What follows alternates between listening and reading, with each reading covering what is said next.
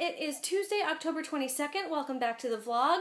So, did you know that No Snark Day is a thing? There is an official day called No Snark Day, and that day is today. And I did not know about this until like five minutes ago, but I'm going to take it as a sign, in spite of the fact that they spelled my name wrong, and in spite of the fact that they're not really talking about my particular brand of snark, uh, that I should get to take the day off.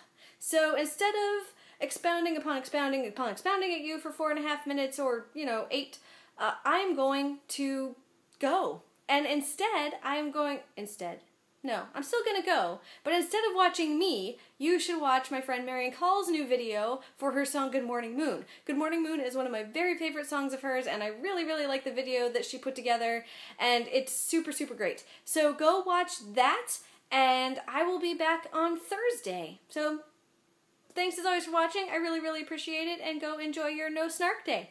I will see you in a couple days. See you later.